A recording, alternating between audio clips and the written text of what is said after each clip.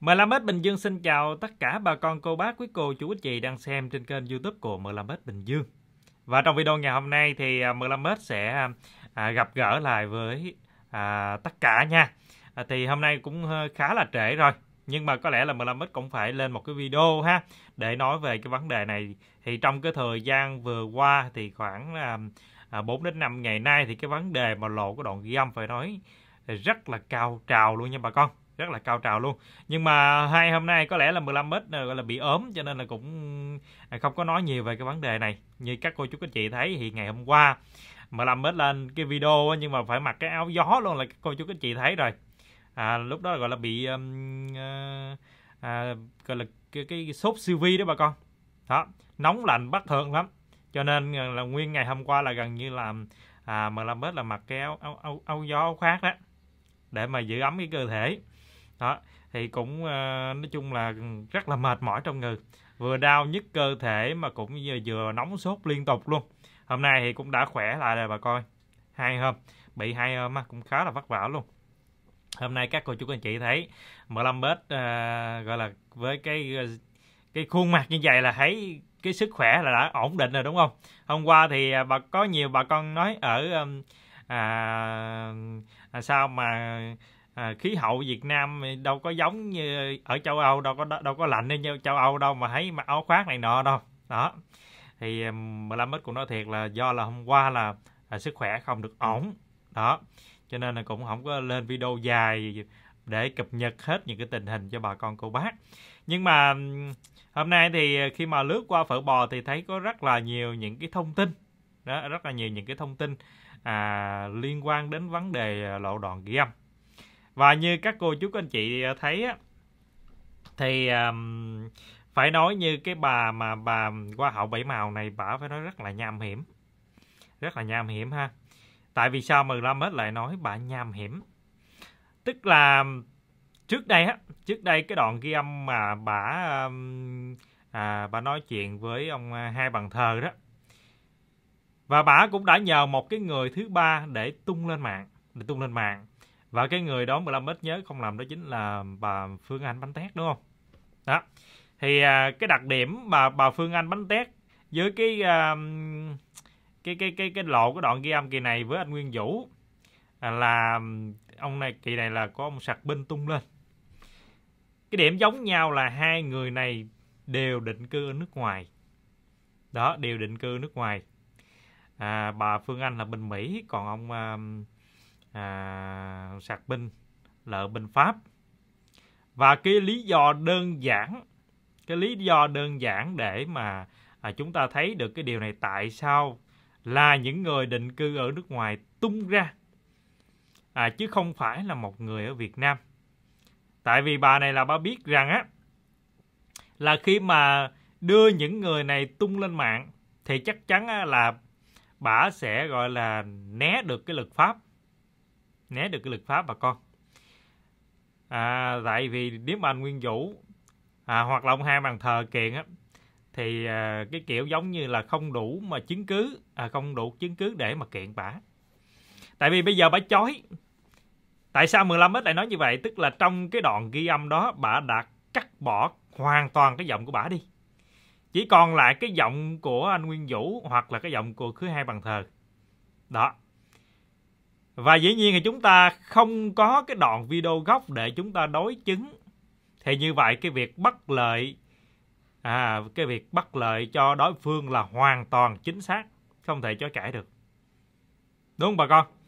Đó, ở đây thì bà chối, bà chối thì làm sao mà mà mà mà, mà bắt được bà tại vì à, cái người mà tung lên á là ở nước ngoài rồi. Đó, cái người tung lên là ở nước ngoài cho nên bây giờ muốn bắt người nước ngoài cũng đâu có dễ đâu có dễ đâu bà con đúng không?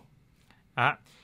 và nếu mà mà à, nếu mà chúng ta thưa à, chúng ta thưa mà không đủ chứng cứ là nhiều khi là bà thưa ngược lại nữa.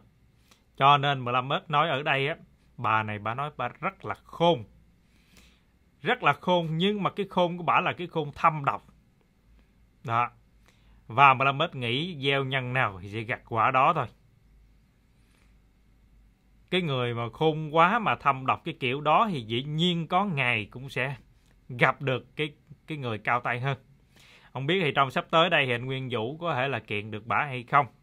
Nhưng mà nhưng mà hiện tại thì phải nói rất là khó nha, rất là khó. Tại vì trong cái đoạn ghi âm đó là bà đã cắt bỏ hoàn toàn cái giọng của bà bà chờ lại chỉ có mỗi cái giọng của anh Nguyên Vũ và cái giọng của thứ hai bạn thờ thôi. Đó cho nên là nếu mà cơ quan công an người ta vào cuộc thì cũng rất là khó. Tại vì bây giờ không có đoạn video gốc để đối chiếu. Nếu mà anh Nguyên Vũ có cái đoạn video gốc có ghi âm lại thì có thể là đưa cho cơ, cơ quan công an người ta đối chiếu thì có thể là chúng ta sẽ à, giành trắng được à, giành chắc được cái phần thắng. Đó. Nhưng mà ví dụ như anh Nguyên Vũ ý y à, không có ghi âm lại đó thì chắc chắn là cái à, à, cái phần thắng sẽ thuộc về cái bà cá bảy màu này rồi cho nên ở đây cũng khá là căng nha khá là căng. Nếu mà chúng ta tin tưởng nếu mà chúng ta vẫn tin tưởng ờ, nếu mà chúng ta tin tưởng anh Nguyên Vũ à, thì à, chúng ta cũng phải cố gắng thôi. Phải cố gắng thì mới chúng ta mới tin tưởng được. Thì đối với 15m 15m thì 15m vẫn tin tưởng anh Nguyên Vũ nha. Tại vì theo một cái góc nhìn khác theo một cái góc nhìn khác thì ờ, à mình phải đối chiếu theo những cái gọi là cái mốc thời gian nha những cái mốc thời gian. Đó. Rồi à, để chúng ta xem coi là anh Nguyên Vũ à, đã từng giúp được gì à, từng giúp gì cho Hồng Loan. Và khi mà à, ra đi trong im lặng cho đến à, lúc mà xảy ra cái à, cái drama là lộ đoạn ghi âm à, thì sẽ như thế nào? Thì bây giờ mời bà con cô bác chúng ta cùng à, xem video nha xem hết video để chúng ta có thể là à, biết rõ hơn rồi cái móc đầu tiên mà 15m à, à, nói cho bà con cô bác á, là trước đây 15m có làm một cái đoạn à, một cái video à, một cái video cũng nói về drama. Đó. Và cái video này á, thì à, phải nói là rất là khen rất là khen à, khi mà anh Nguyên Vũ đã tặng cho Hồng Loan một cái số tài khoản phải nói là cực đẹp để Hồng Loan à, buôn bán kinh doanh. Và cái tài khoản đó thì 15 ít với mãi đọc một lần là nhớ luôn. 1958 9999 99 đó năm con số 9 nha. À, và 1958 đó chính là cái uh, cái năm sinh của cố nghệ sĩ ưu tú Vũ Linh. Đó. Và trong lúc bán hàng rất rang thì có cái số tài khoản cực đẹp này thì dĩ nhiên là bán hàng phải à, ok la rồi. Đó. Và lúc đó 15m đã từng chết nha từng chết ở trên trên app 10 banh những cái số tài khoản mà cực đẹp á. Và khi mà 15m gõ vào cái số tài khoản của anh Nguyên Vũ mà tặng cho Hồng Loan thì con số này nó lên đến trị giá là khoảng 400 triệu. Một cái con số rất là khủng ha. Nếu mà chúng ta chưa trừ đi cái chi phí cái chi phí là à, mã giảm giá nha. Nếu mà không có mã giảm giá mà chúng ta mua ngang á mua ngang á, thì cái con số này bên phía ngân hàng MB Bank bán là 400 triệu. Đó thì à, đây là cái con số ờ, cũng khá là, là lớn. Nhưng mà trước đó là anh Nguyên Vũ anh cũng đã gọi là đổi ngang. Tại vì anh anh có một cái số tài khoản là đã có sẵn. Nhưng mà cái số này là anh ờ, không dùng. Nhưng mà số này cũng rất là đẹp nha. Đó số này rất là đẹp luôn. Cho nên à, khi mà à, đổi sang cho Hồng Loan á, thì ảnh đổi theo cái nguyện vọng ước ước nguyện theo ước nguyện của Hồng Loan. Tức là cái số tài khoản đó là nó làm sao cho nó à, nó đẹp nhưng mà nó phù hợp. À, 1958 tức là cái năm sinh của cổ nghệ sĩ Âu tú linh. Và bốn con số 9 mà bác có à, năm của năm của số 9 là mình phải nói là cực đẹp luôn. Đó. Thì nói chung là cái, cái cái à, số tài khoản này là anh đổi từ cái con cái số tài khoản cũ của ảnh qua cái số tài khoản mới. Nhưng mà giá trị là vẫn vẫn ngang nhau nha. Vẫn ngang nhau thì người ta mới đổi được. À, hoặc là cái tài khoản cũ cái số tài khoản cũ của ảnh là giá trị hơn thì ảnh mới đổi sang cái số tài khoản mới được. Đó. Chứ không thể nào mà chúng ta đổi một cái số tài khoản mà à, à, cái giá trị nó thấp hơn đổi sang cái số tài khoản cao hơn được. Nếu như vậy thì chúng ta phải bù tiền bà con để mà làm ít gắn cái đèn như nha. Nó bị uh, hết pin cho nên nó hơi tối. Đó. Thì uh, đây là một trong những cái mốc sự kiện đầu tiên nhưng mà lúc 15m lên cái video đó bà con 15m quên che đi che đi cái ờ, cái cái số tài khoản á. Cho nên cái video đó là của 15m đã bị xóa do vi phạm cái nguyên tắc cộng đồng là để lộ cái số tài khoản ở trên à, trên nền tảng của YouTube nha. Đối với nền tảng của YouTube khi mà chúng ta đưa những cái thông tin nào đó lên mà không mà chúng ta không che đi cái số tài khoản á, thì chắc chắn YouTube này sẽ xóa luôn cái video đó của chúng ta và cảnh báo cho chúng ta một cái vi phạm liền. Đó và đợt đó thì 15 đã bị cái trường hợp đó ha. Rồi cái cái cột mốc thứ hai mà đáng nhớ nhất nha cái cột mốc này là cột mốc đáng nhớ nhất mà 15 nghĩ là như vậy tức là cái ngày 23 tháng 9 đó tại sao 15 bit lại nói cái cột mốc này ngày à, mà đáng nhớ? Ngày 23 tháng 9 tức là ngày đó 15 bit có quay video. À, các cô chú các anh chị có nhớ cái ngày mà Hồng Loan lên mộ cùng với anh Nguyên Vũ để mà trồng lại cái um, cái cây lẻ bạn ở trên lỗ âm dương không? Tức là trước đó Hồng Loan cũng đã à, nhờ anh Ngọc cũng như là tất cả các anh em tại mộ á trồng những cái cây hoa bông trang à, lên mộ của chú. Nhưng mà sau hai ba lần á thì à, bị cái con con hưu con nai nó phá trong đêm. Đó nó ăn mấy lần luôn thay có mấy lần luôn. Và cuối cùng cái lần cuối cùng đó chính là hồng loan cùng với là anh nguyên vũ à, là là lên trên mộ của chú vũ linh. À, tự tay trồng cái cây à, cây lẻ bạn cây hoa lẻ bạn đó. Và anh nguyên vũ là người bỏ đá bỏ những cái viên đá màu trắng á, vào ở bên trên. Đó. Thì lúc đó là 15 m cũng đã có ghi hình lại chia sẻ cho toàn thể bà con cô bác. Đây là một trong những cái hình ảnh cực kỳ đẹp luôn. Và cho đến tận ngày hôm nay thì cái cây lẻ bạn đó nó không bị bất kỳ con hưu con nai nào phá hết. Và nó vẫn sinh trưởng rất là tốt nha. Thì đây là một trong những cái phải nói tin cực kỳ vui khi mà có sự à, tham gia của anh Nguyên Vũ nữa. Đó và rất là nhiều những cái sự kiện khác mà 15 bit à, cũng đã à, ghi hình lại được ha. Rồi tiếp theo đó chính là cái sự kiện ngày 10 tháng 12 bà con. À, ngày 10 tháng 12 đó chính là ngày à, à, sinh nhật của à, cố nghệ sĩ ưu tú Vũ Linh. À, sinh à, ngày 10 tháng 12 nha. Thì trong cái sự kiện này thì có rất là nhiều những cái nhân vật đặc biệt luôn. À, à thì trong đây không thể nào mà chúng ta không thể kể đến nó chính là anh Nguyên Vũ. Mặc dù là anh đến hơi muộn ha lúc này anh đang có một cái chuyến biểu diễn ở đâu ngoài miền Trung á. Đó. đi về thì uh, hơi trễ tí xíu. À, nhưng mà khi mà đến thì anh cũng đã tham gia ha. Nói chung là lúc này cũng đã có cái sự mà à, xảy ra à, cái việc liên quan đến cái à, câu chuyện giữa um, à, lâm xùm trước đó với là à, cửa hai bàn thờ rồi. Nói chung là cũng đã có xảy ra những cái mâu thuẫn rồi. Cho nên chúng ta thấy cái việc mà cạch mặt nhau rồi không chụp hình chung à, khi mà lên mộ cố nghệ sĩ. Ha nói chung là thì à, đây à, lúc này thì cũng đã bắt đầu xảy ra những cái drama rồi. Đó là ngày 10 tháng 12 nha. Và tiếp tục à, ngày 12 tháng 12 tức là sau đó là hai ngày thì anh Nguyên Vũ có ra mắt cái MV là hơn cả người thân. Thì lúc này có sự tham gia của tất cả những anh em tại mộ nữa thì trong đó có 15m 15m cũng đã xuống quay hình. Đó. Và phải nói rất là tuyệt vời khi mà anh Nguyên Vũ đã gọi là có một cái buổi tiệc à, dành cho tất cả những anh em youtuber cũng như là phía bên à, chị Hồng Loan. Đó gia đình Hồng Loan ha. Và tất cả những người yêu mến à, tại um, ẩm thực trăng đó ẩm thực trăng mà là mình nhớ rất là dài nha. Đó. Thì đây là một trong những cái sự kiện à, rất là tuyệt vời. À, lúc mà anh Nguyên Vũ còn um, à, nói chung là còn trong ở còn trong tim và sau này khi mà um, à, để mà làm mới xem coi. Hình như là lúc mà anh lên cái một cái thông báo là ngày à,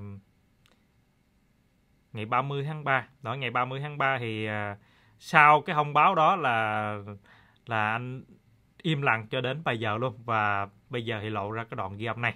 Đó. Và bây giờ thì chúng ta sẽ cùng nghe lại cái đoạn ghi âm để chúng ta xem coi là à, như thế nào nha bà con. Tại vì 15 bit vẫn không tin nha vẫn không không tin là anh Nguyên Vũ thật sự là quay xe nha. Đây đầu tiên á, thì à, chúng ta nghe nè. À, ở trong cái gọi là cái hình à, cái hình à, hâm neo cái hình hâm neo có ông sạc binh á có để à, những cái dòng nha những cái dòng chữ.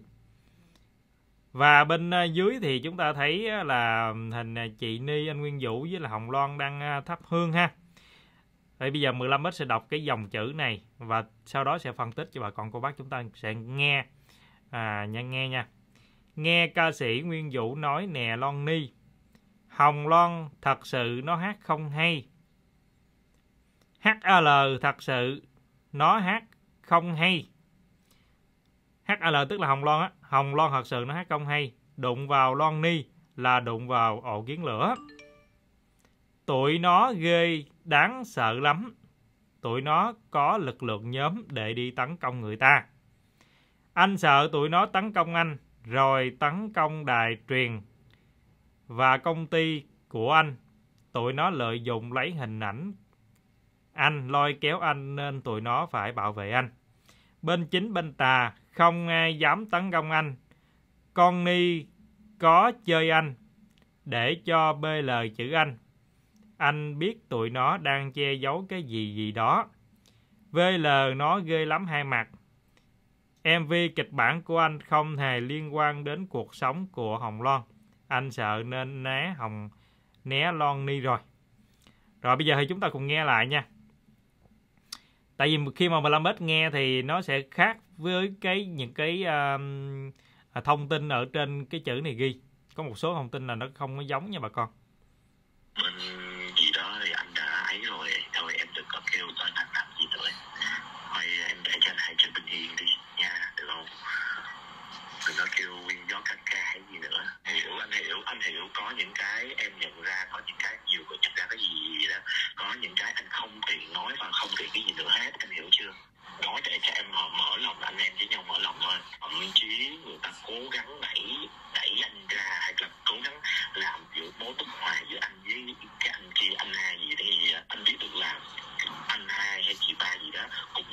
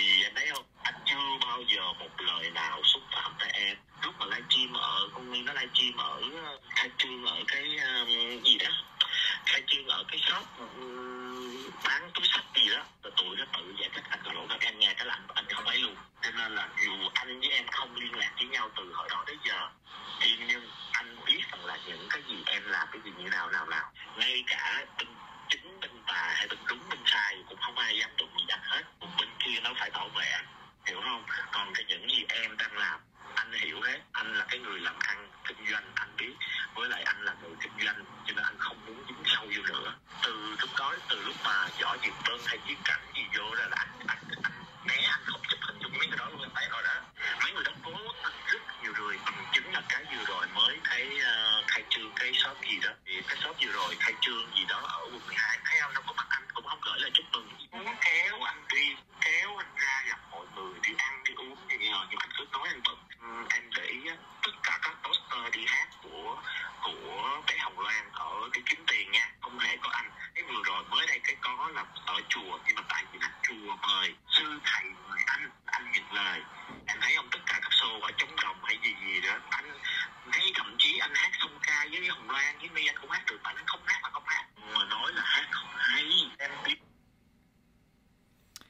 Cái câu này chúng ta lưu ý nha. À, ở trong cái uh, banner á nó ghi là hồng loan thật sự nó hát không hay. Nhưng mà khi mà chúng ta nghe cái đoạn ghi âm là không phải nói hồng loan hát không hay nha bà con. Lưu ý chúng ta nghe lại nè. Cho nên khi mà chúng ta nghe chúng ta phải uh, nghe cho kỹ cái đoạn người ta cắt ghép rất là tinh vi ha. Và ở đây người ta cố tình là à, viết ở trên cái à, cái cái cái cái thumbnail để cho chúng ta đọc lướt qua nha. À, để cái mục đích là người ta có sẵn rất là ghê gớm nha bà con. Mời sư thầy mời anh anh nhận lời. Em thấy không tất cả các show ở chống đồng hay gì gì đó anh thấy thậm chí anh hát song ca với hồng loan với my anh cũng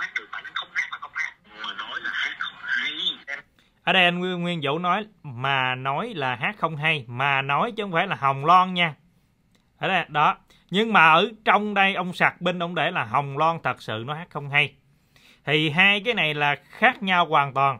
Đó, nó có sự cắt ghép và khi mà chúng ta nghe rất là rõ ở đây là không có cái cái cái cái cái cái lời nào mà anh Vũ, Nguyên Vũ nói là Hồng Loan thật sự là nó hát không hay nha bà con.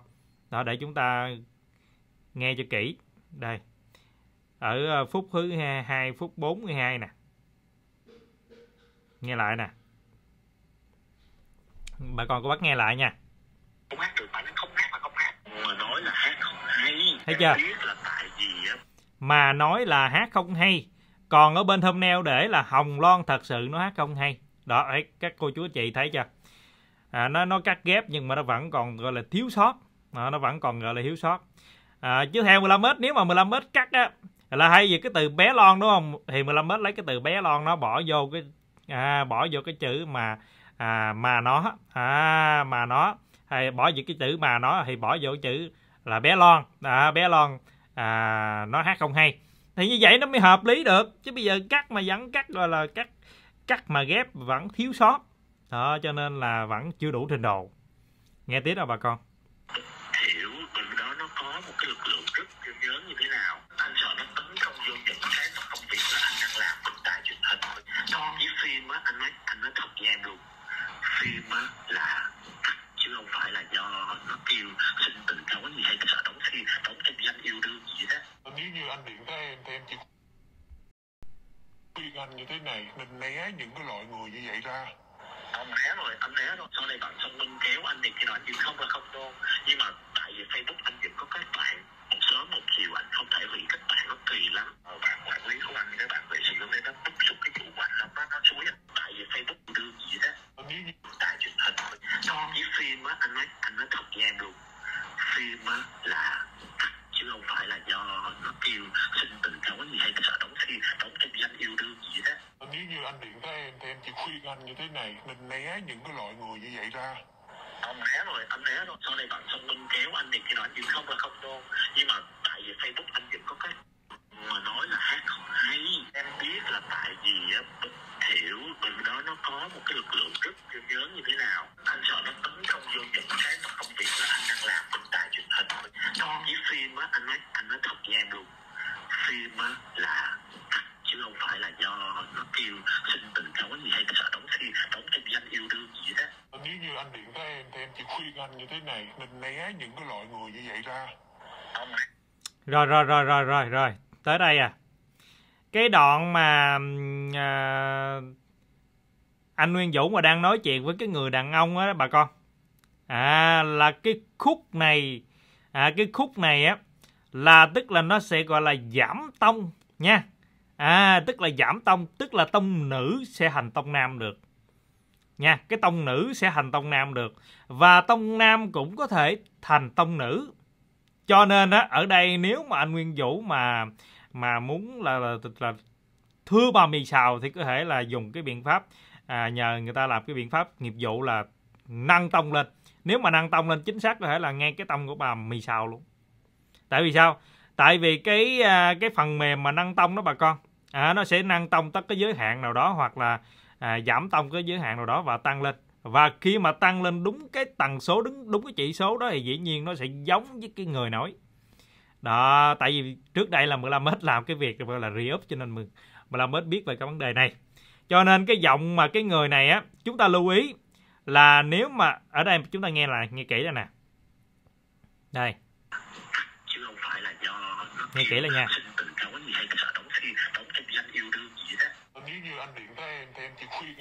nếu mà anh nghĩ tới em à vậy tức là cái người mà đang nói chuyện với anh Nguyên Vũ là cái người, một là cái người nhỏ tuổi hơn, hai là cái người phụ nữ. Mà thường là người- nếu mà anh nghĩ tới em, thì cái cái cái cái gọi cái xưng hô đó chỉ là người phụ nữ thôi bà con.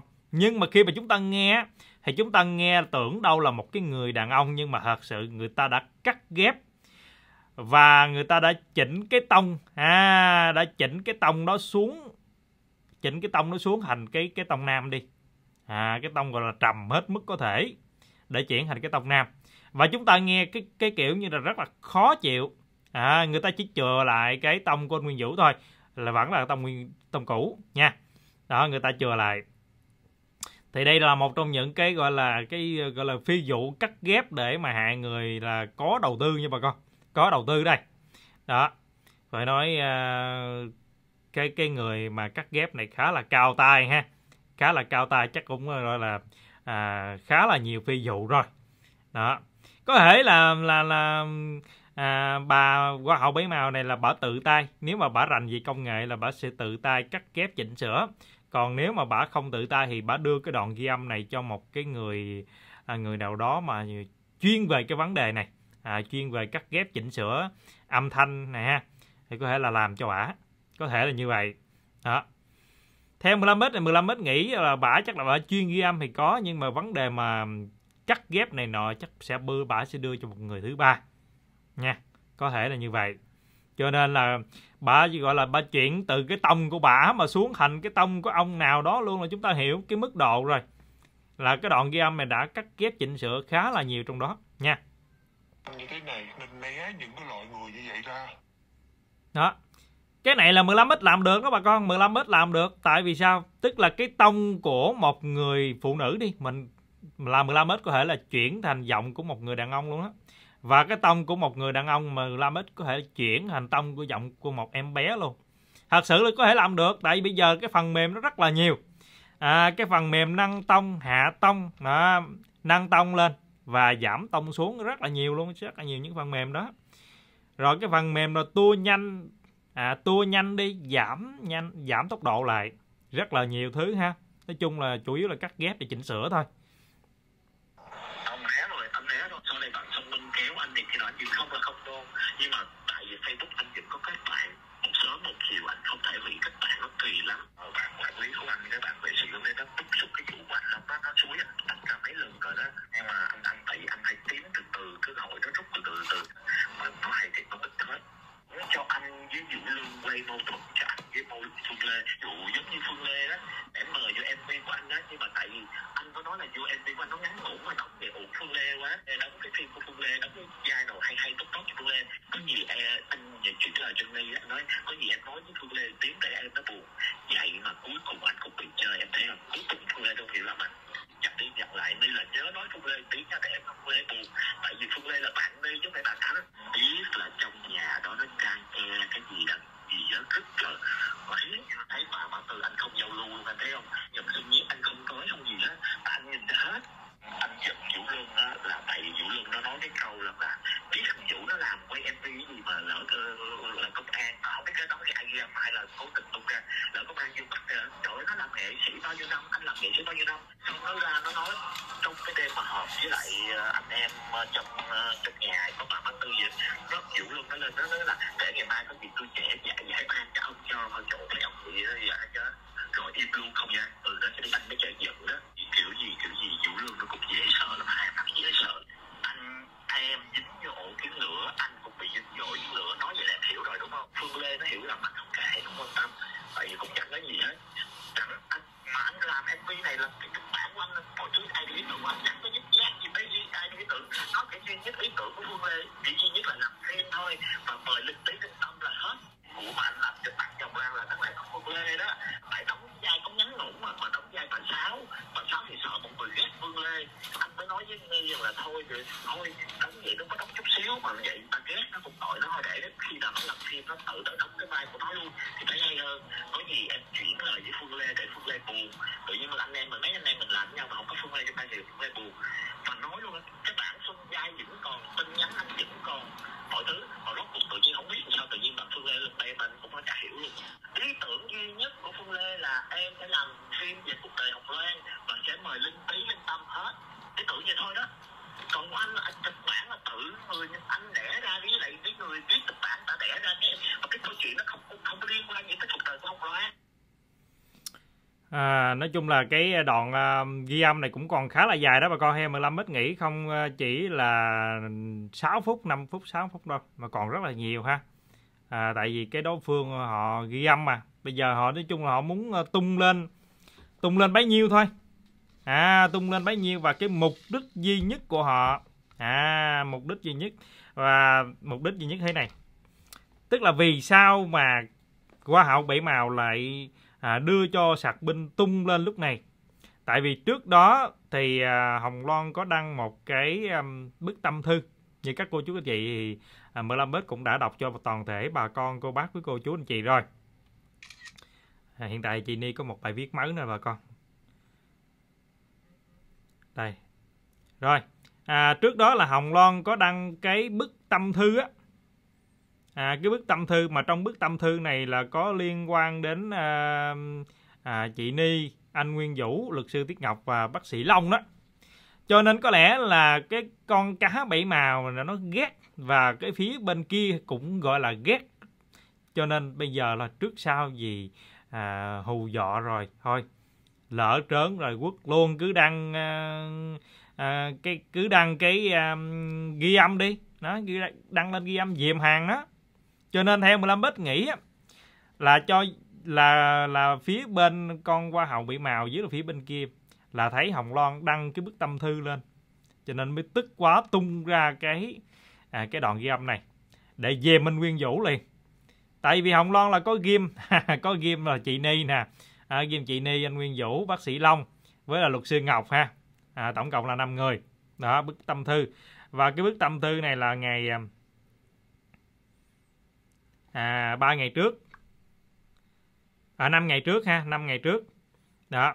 Và cái lộ đoạn ghi âm thì à, 4 ngày trước thì các cô chú chị thấy chỉ sau một ngày thôi.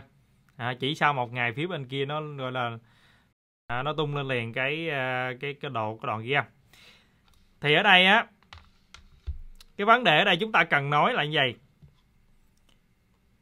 Mình làm hết nhớ không làm là hôm qua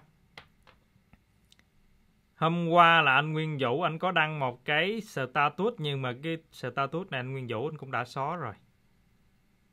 Đây 15 bết ờ, đọc lại cho bà con nha. Cái status này 15 bết cũng có à, chụp hình lại. Nhưng mà là chưa là chưa làm video nha. Bây giờ à, làm chung cho bà con cô bác chúng ta nghe nè.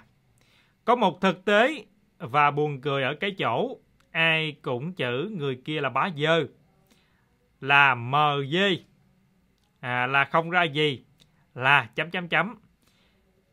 Tức là mình chữ phía bên con hoa hậu bảy màu rồi mình chữ phía bên bên bên ờ, bà sáu rồi đó bà con. Gọi là bá dơ hay là làm à, mờ dê gì đó. Nói chung là chữ nhiều. Mà mọi người ai cũng chạy theo tin tuyệt đối vào cái nó cho mọi người nghe theo ý muốn và theo ý đồ của nó. Tức là sao? Tức là khi mà nó tung cái đoạn ghi âm nó lên. À khi mà nó tung cái đoạn ghi âm nó lên thì tất cả ai cũng tin nó hết. À tin nó hết. Đó. Rồi tiếp ha. Hơn là tin người đã từng làm những việc tốt không vụ lợi và chịu nhiệm mức. Tức là sao? Tức là khi mà à, tung lên thì dĩ nhiên là, là à, tên bên kia. À, và chúng ta đang tấn công về phía à, những người tốt. Ở trong đây là đó chính là anh Nguyên Vũ nha rồi. Vậy công bằng không ta? Công nhận hay và giỏi thật. Thua ngay chính, à, chính trên sân nhà. Dù bóng mới lăn. Nói chung thì có lẽ là anh Nguyên Vũ anh cũng đã chịu gọi là khá là nhiều những cái ấm ức. À, và à, không nói nên lời được. Hiện tại thì có lẽ là à, các cô chú các anh chị thấy khi mà chúng ta lướt trên nền tảng à, mạng xã hội thì chúng ta cũng à, cũng à, một phần nào thấy một gọi là đa số mọi người bây giờ gọi là tấn công về phía anh Nguyên Vũ cũng khá là nhiều luôn. Tấn công khá là nhiều. Đó. À, cho nên à, cái việc mà à, khi mà tung về tung lên cái đoạn ghi âm lên mạng thì dĩ nhiên à, dĩ nhiên là sẽ có à, người xấu sẽ có người tốt sẽ có người tin và sẽ có người không tin. Nhưng mà hiện tại đối với 15m thì 15m vẫn tin anh Nguyên Vũ. Không biết là bà con có bác hay sao nhưng mà lòng 15m vẫn tin nha. Tại vì um, à, nãy giờ 15 mét phân tích à, từ à, những ngày ngày ngày nào ngày nào tới ngày nào.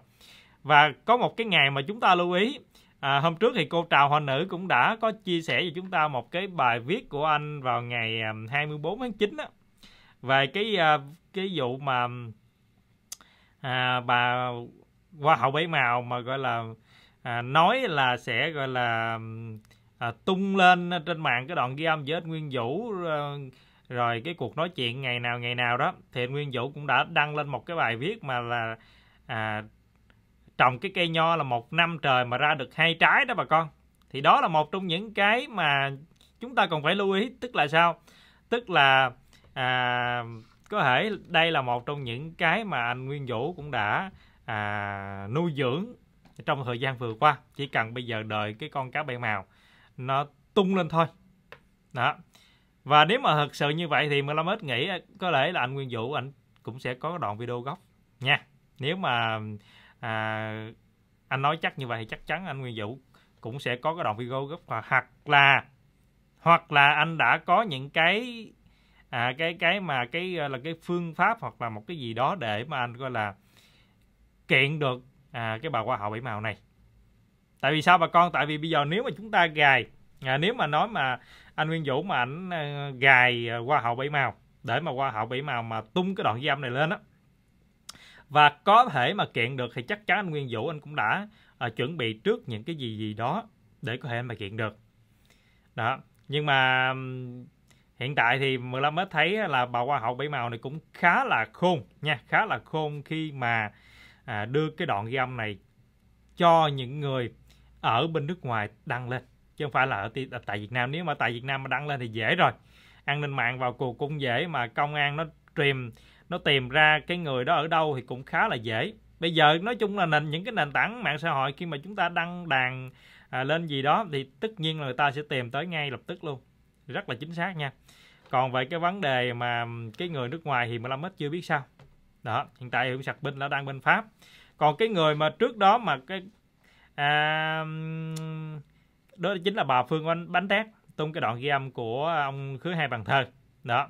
Nói chung là bà này bà toàn là bà nhờ người nước ngoài nhờ người ở à, ở xa không à. à ở xa chứ không phải Việt Nam đăng lên. Và cái mục đích là để né pháp luật. Và sau này nếu mà bà thấy mà gọi là tình hình mà yên ổn á thì có thể là bà sẽ tung luôn những cái đoạn còn lại à, của những cái đoạn ghi âm. Đó và không biết thì tình hình như thế nào nhưng mà đối với 15 mét thì 15 mét hiện tại là vẫn tin anh Nguyên Vũ nha. Tại vì có những cái mà chúng ta cũng phải đáng tin đó cũng phải đáng tin. Nhưng mà tới hiện tại tới cái hiện tại bây giờ à, chúng ta vẫn chưa thấy anh Nguyên Vũ làm những cái việc gì đó tổn hại đến à, tinh thần cũng như là kinh tế cho Hồng Loan. À, ngoại trừ cái việc gọi là lộ cái ghi âm mà cái ghi âm này là của bên con phía bảy màu, thì chắc chắn con phía bảy màu này nó sẽ cắt ghép rồi. Cho nên cái việc mà chúng ta hồ theo để mà tin tưởng bên con cá bảy màu mà tấn công anh Nguyên Vũ là một việc làm. Mà ở đây 15 ít nói là chúng ta không nên không nên. Tại vì đó là một trong những việc làm bất lợi cho phe của chúng ta nha. Đó, thì cái này là theo suy nghĩ của 15 ít đó. Tại vì bây giờ mà nó tung lên cái gì mà chúng ta tin tưởng như vậy, mà chúng ta tấn công những người phía bên ta, phe ta nữa thì coi như là chúng ta mất trắng bà con. Chúng ta mất trắng. Và nếu mà nó cứ làm về cái vấn đề này, nó làm hoài, làm mãi cho đến khi nào mà nó tung lên kể cả của chị Ni luôn. Vậy thì lúc đó là chị Ni rời luôn, không lẽ Hồng Loan còn mình? Đúng không bà con? Bây giờ các cô chú các chị thấy chưa? Nó đánh là đánh từng người. Nó đánh từng người. Đó và khi những người thân của chúng ta rời xa chúng ta từ từ từ từ. Đó mà chúng ta chưa biết chắc chắn là người thân của chúng ta à, là có thật sự là như vậy hay không mà bây giờ chúng ta cứ bem cứ bem cứ bem. Đó. Và cho đến khi một ngày à, xung quanh chúng ta không còn ai nữa chỉ còn một hai người và nó cũng dùng cái phương pháp đó. Và nó tấn công những người cuối cùng và những người cuối cùng đó cũng là rời đi vậy thì cuối cùng còn ai bà con còn lại còn đồng mạng, đúng không? Đó, cho nên thì cái việc ở đây mà chúng à, 15 mét lưu ý đối với toàn thể bà con cô bác là như thế nào? Tức là cái đoạn ghi âm nữa của con cá bảy màu nó tung lên, và cái người tung lên đó chính là phía bên con ve vậy thì bây giờ mà chúng ta cứ tin cái tưởng cái đoạn ghi âm đó mà chúng ta tấn công anh nguyên vũ thì chẳng khác nào về phe ta đánh phe ta nữa. Đúng không? Đó. Vậy sao tại sao bây giờ ngay ngay vào luôn ngay lúc này, tại sao chúng ta không đánh những người? Con ve nè, hàng thám tử đầu đất nè. Đó, rồi ờ, con ờ, heo bằng, con heo tay xanh nè. Đó, tại do những cái người đó mà chúng ta không đánh mà chúng ta lại đánh những người mà đã từng giúp đỡ cho chúng ta rất là nhiều. Đó, thì đây là một cái câu hỏi hơi nhức nhói của 15 mét Bình Dương nha. Hơi nhức nhói nhưng mà nó thật sự nó đúng bà con, nó đúng dù sao ngay lúc này thì chúng ta cần phải biết cái mục tiêu của chúng ta là gì. Chứ không phải là chúng ta bem, chúng ta bem hết coi như là cái drama này nó cũng muốn tàn rồi bà con chúng ta ủng hộ, nhưng mà chúng ta cũng phải giữ cái lý trí nữa, nha. Bây giờ muốn đánh là chúng ta cần phải giữ cái, xác định cái đối tượng mà chúng ta cần đánh.